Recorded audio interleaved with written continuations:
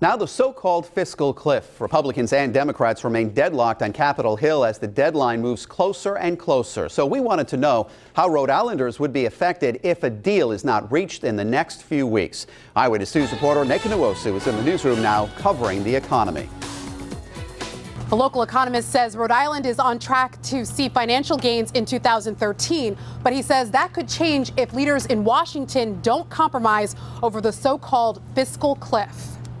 Economists say median home prices in Rhode Island are going up. They also predict an increase in construction as well as growth in both the financial services and hospitality industries. It's getting better. Dr. Ed Mazze is a business professor at URI. He spoke at a conference about New England's economic outlook held at Bryant University Thursday. He says Rhode Island will see financial improvements from 2012 to 2013, but that could change if we go over the so called fiscal cliff.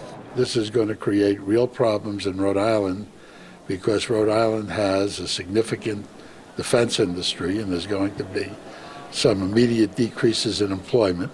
Tax cuts that have uh, disappeared in the past will come back as new taxes. Uh, and of course, that will mean less spending. The average Rhode Islander could see a tax increase of $2,000 yearly if a deal isn't made. Still, Mazze believes congressional leaders will compromise. We're going to be able to resolve some of it, but it will, it will definitely go into the early part of 2013. Mazze says the other thing that could impact Rhode Island's economic outlook is the current pension situation. Now, as we've been reporting, state and local governments would have to start rebudgeting depending on what happens. In the newsroom, Nneka Nwosu, Eyewitness News.